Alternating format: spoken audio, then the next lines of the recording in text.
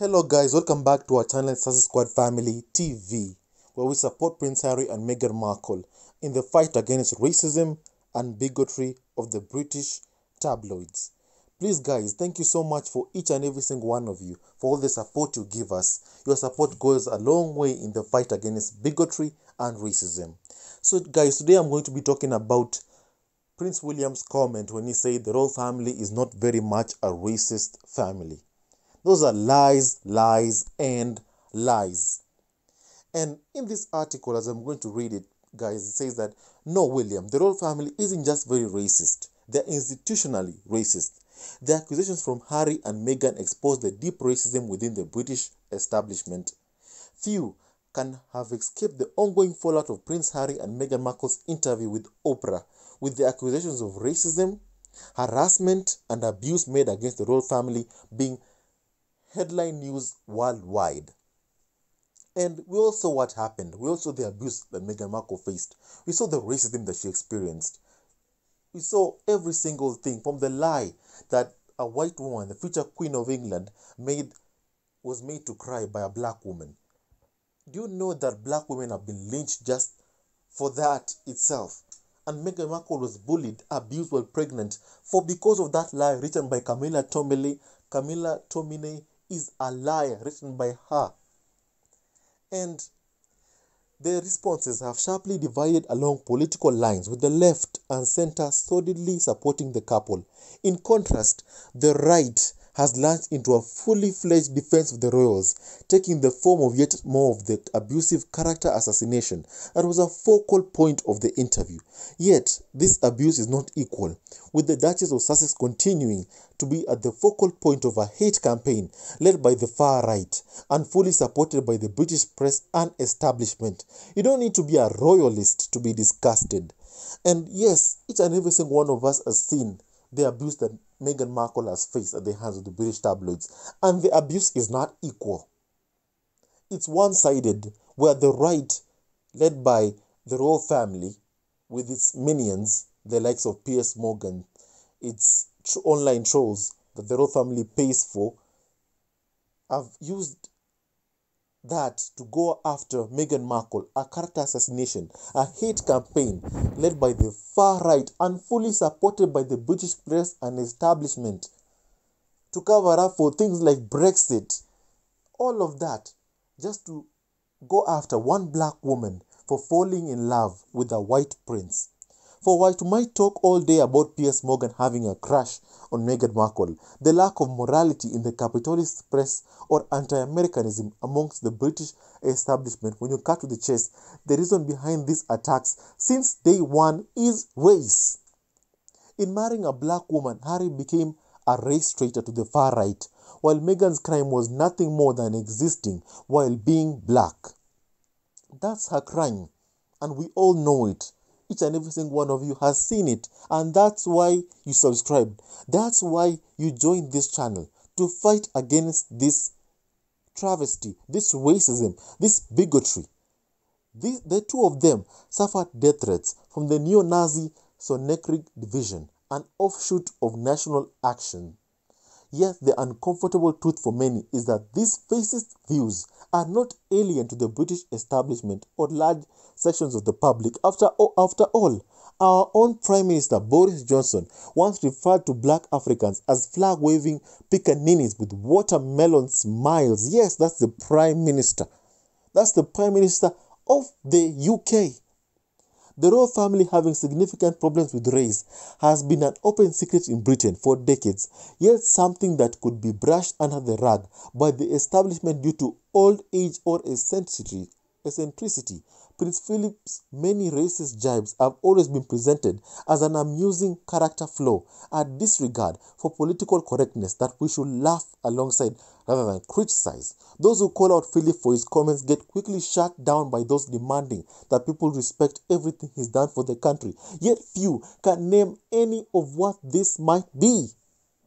Let's be honest with each other. For instance, on the royal patronages, a study has found out that having a royal patron as a member of a charity does not give add any form of value whatsoever to that charity. In fact, charities of the likes of Kate Middleton, the Duchess of Cambridge have all gone bankrupt because of that. But it's far from being the problem of Prince Philip alone. Who can forget when pedophile and alleged pedophile in chief Andrew made a series of racist remarks against Arab at an official function involving the Saudi royal family, or use of the N word. How can you even forget Princess Michelle of Kent, who made her feelings on Meghan Markle expressly plain when she wore a brooch that featured a slave kept as a pet, proudly displaying the revolting piece of jewelry at the royal's first meeting with Meghan Markle. She also told the New Yorkers to go back to the colonies, black New Yorkers to go back to the colonies, and name two black sheep on a farm, Venus and Serena, after the Williams sister. Therefore, those who continue to debate which member of the royal family asked Harry how black his son would be are missing the entire point. It doesn't really matter, for the entire farm is institutionally racist.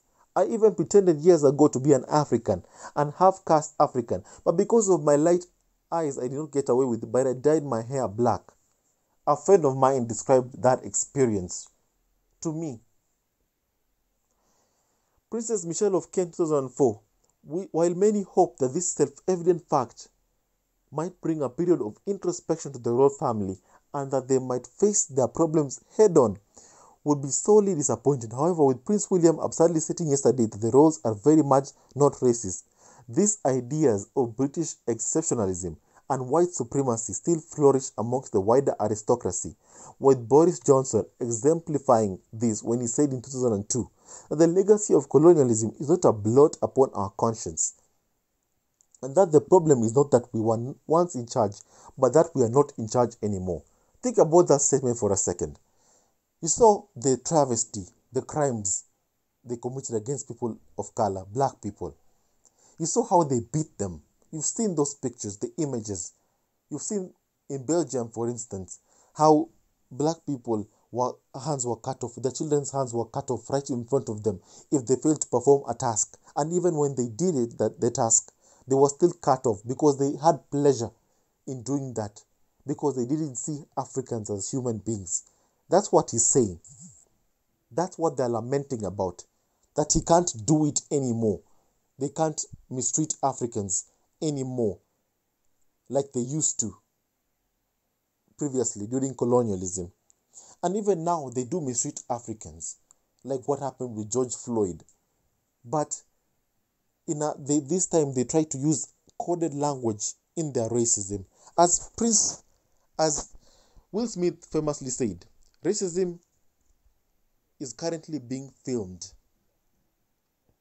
That's what Prince, that's what Will Smith said. And those are facts, complete facts, which I completely agree with. He said racism is not getting worse, it's getting filmed. Indeed, it's a mistake to believe for a second that the behavior of the likes of Philip, Andrews and others haven't been going on for generations, with the royals being heavily involved in the slave trade. Elizabeth I sponsored the pirate John Hawkins in his endeavors as a slaver, renting him a 700 ton slave ship and allowing him to run a trade between Africa, the Americas, and England. The royal family had a monopoly on slavery for 150 years, and the heralded glory of Elizabethan England was funded by the slavery. By the time of James I, the king passed a monopoly license to a private company, bringing tensions with parliament, particularly after they abolished it in 1618. You see how angry they get at losing their slaves. And you're telling me that the UK is not racist, according to a report that was written by the Prime Minister's own people. However, his Charles I brought it back, and the license became a contributing factor in the outbreak of the English Civil War, a fact that is little taught in school. Following the restoration of the monarchy, the royal family's involvement in slavery only grew, being the owner of the Royal Gambia Company and the Royal Adventurers Company and the Royal African Company, the exploitation of slaves, gold, ivory, and natural resources funding the growth of an empire. More recently, the links between the royal family and the far right were another open secret across the country, with Edward VIII being an outright Nazi sympathizer. While apologists might suggest that Wally Simpson influenced the king in his political ideologies, again blaming the woman, this is willing ignorance of the royals long history, with the Bolshevik Revolution in Russia putting fear into royal houses across Europe and the family history of white supremacy and military belligerence, it takes an extreme level of delusion to believe the royal family weren't swayed by the allure of fascism. The archives at Windsor Castle contains shelves of documentation from the 1930s and are believed to contain private correspondence between the royals and na- senior figures in the Nazi regime, including Hitler himself. Nobody is allowed to access them. Many other documents were destroyed in 1945 during a cleanup operation designed to hide the truth of how close the royal family and the Nazi regime actually were.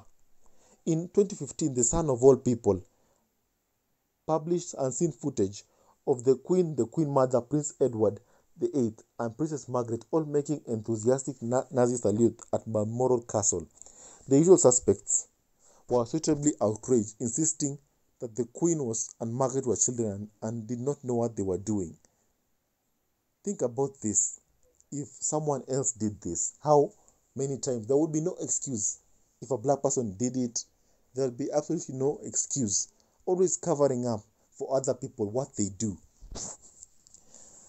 And while that defense is sound, as managing director editor Stig Abell pointed out, the issue was the extent to which the British aristocracy, notably Edward VIII, in this case in 1930s, was sympathetic towards fascism. Indeed, while the defense of the monarch covered the press for days, few wished to talk about the sainted Queen Mother, long portrayed as the grandmother of the entire nation. Yet once again, nobody should have been surprised with the late Elizabeth Bowes leon being another prolific racist and ardent supporter of appeasement. She made her views quite explicit the time she told her diarist, Beware the blackamoors, and the time she told a lady meeting that Africans just don't know how to govern themselves.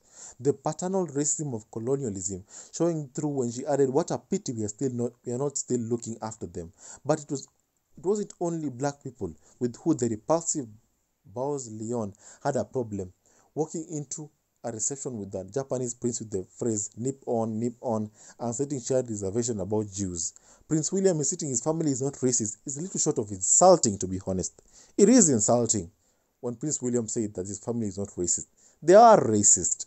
This arrogant denialism will undoubtedly find favor with the far right press, who will hide behind behind their true motivation of racism, behind a veil of patriotism. Yet the public at large will no longer accept this barefaced lie and the lack of accountability. Across the world, new calls for social justice are frightening the establishment to their core. They don't like it. For that's why you hear of the term woke. That's why they keep saying woke. Whenever someone is fighting for social justice, they keep saying, "Oh, look at this guy. He's woke." Make no mistake, the likes of Andrew Neil and Laurence Fox railing against wokeness has nothing to do with a few thousand people using hashtags on Twitter. This backlash from the kind comes from fear, with the establishment both petrified and angry that they are losing control of society, particularly amongst young people. No longer will people accept how things must be. They will not accept crumbs from the table. Not that anyone is born better than anyone else. They will not accept that the legacy of the British Empire must be displayed displayed as statues, depicting a dominating triumph over all who see it. Nor will they accept a royal family who is not only unrepresentative of their subjects, but swamped with criminality of the worst kind. Countries around the world that were once under the yoke of the British imperialism long began the process of throwing off the shackles of the monarchy. Speaking of which, Barbados currently is seeking independence from the UK and in a few months they will be independent. Congratulations to them. I am hoping that other Commonwealth countries will do the same. Whether through revolution or politics, they moved away from the domination of entitled elites and began the slow process of rebuilding their countries and livelihoods.